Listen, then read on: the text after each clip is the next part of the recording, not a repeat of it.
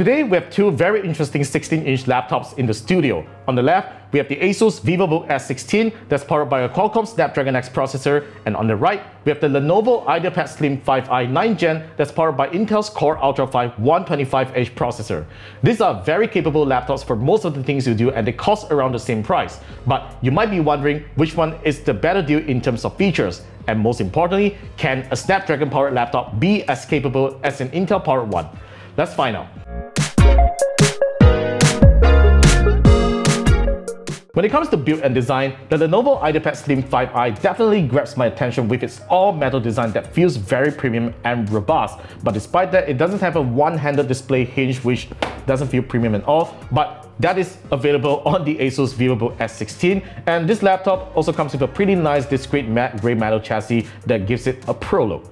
Although the IdeaPad Slim 5i has a pretty nice premium build, it has sharp edges that makes it uncomfortable to rest my palm on while typing and can create marks on my skin. And it is a pretty heavy laptop at 1.89 kilograms.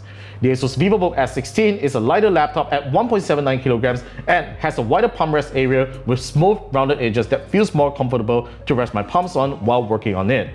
It also has a better keyboard with larger keys and better key travel, and its trackpad is also wider and supports gestures for adjusting speaker volume and screen brightness. When it comes to I.O., both laptops have very similar physical ports and the IdeaPad Slim 5i even comes with a micro SD card slot for storage expansion. But despite that, the VivoBook S16 has faster USB-C ports that performs at 40 gigabits per second as opposed to USB-C 5 gigabits per second on the IdeaPad Slim 5i. The former lets you connect to high-resolution monitors and high-speed external storage devices. It also has a HDMI 2.1 TMDS port that supports up to 4K 60Hz output as opposed to HDMI 1.4 on the IdeaPad Slim 5i that only maxes out at 4K 30Hz. The VivoBook S16 continues to own the IdeaPad Slim 5i with an OLED display that pushes 1200p resolution at 60Hz, while the latter only has a matte IPS panel with the same resolution. The VivoBook S16 obviously offers better visuals with deep blacks and great contrast that makes it really enjoyable for viewing content for long durations and watching movies. Not to mention that it has better sounding speakers than the IdeaPad Slim 5i as it is powered by Snapdragon Sound and supports Dolby Atmos.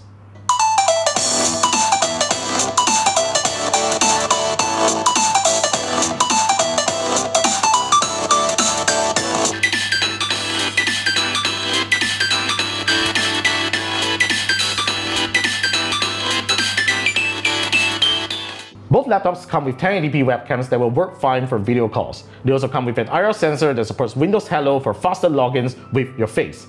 But the VivoBook S16's webcam comes with AI tracking that makes it aware of your presence. Once you turn your face away from the screen, the laptop screen dims, and when you walk away, the screen turns off in a few seconds and ASUS Adaptive Lock secures the laptop. It turns back on instantly once you come back. This not only saves power but also offers better privacy.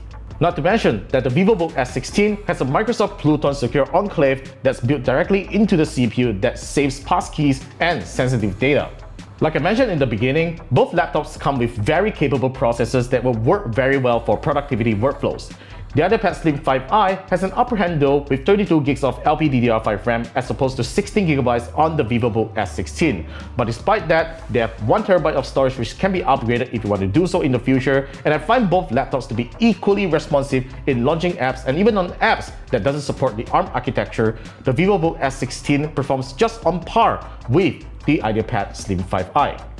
In addition, the VivoBook S16 is a Copilot Plus PC that gives you access to several exclusive features on Windows 11 that you don't get on the IdeaPad Slim 5i, such as the Click to Do feature that lets you select items and text on screen for performing web searches, rewriting text, and make creative changes to an image. In Microsoft Paint, you also realize that the VivoBook S16 has a lot more features than the IdeaPad Slim 5i, such as Co-Creator that turns your sketches into artwork in real time. My favorite feature is the sticker generator, which works really well for inserting stickers into my artwork. You can also remove a picture's background and select the object to be inserted into a different background. Finally, there's also Windows Recall that lets you recall back the actions that you have done on the laptop, such as a document or a website that you have visited before, which is very useful if you have forgotten something. And all these things are secure on the laptop and no one can access unless with your authentication, which is actually really useful. And all these features that I mentioned before are only available on a Copilot Plus PC like the Asus VivoBook S16.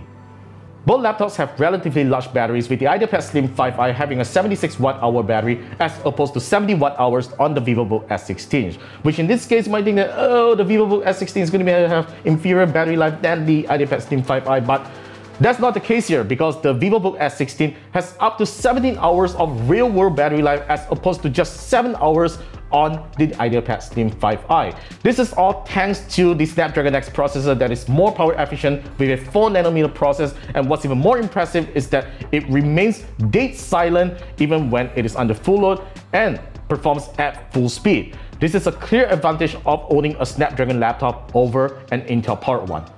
Ultimately, the Asus VivoBook S16 has a clear advantage over the Lenovo IdeaPad Slim 5i in many ways as a Snapdragon-powered laptop and it undercuts the latter with a 36.99 ringgit price tag as opposed to 44.99 ringgit, which is pretty significant even though I say it's around the same price and considering the IdeaPad Slim 5i has such dated ports, an inferior screen and lesser battery life, it's hard to even recommend one once you have tried the Asus VivoBook S16.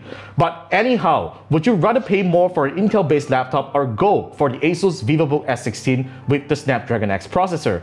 Let me know your thoughts in the comments down below. That's all for today's video. Thanks for watching. Subscribe to the channel for more videos coming right up and I will see you in the next one.